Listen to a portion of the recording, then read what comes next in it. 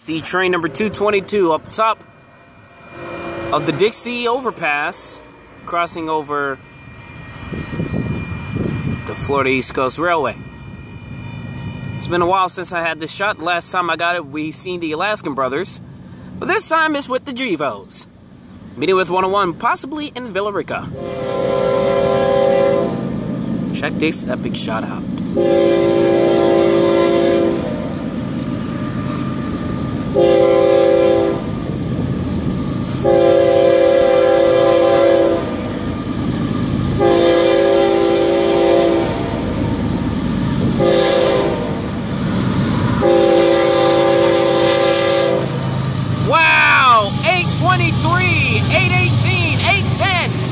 810, 805, and a 422 long and forward.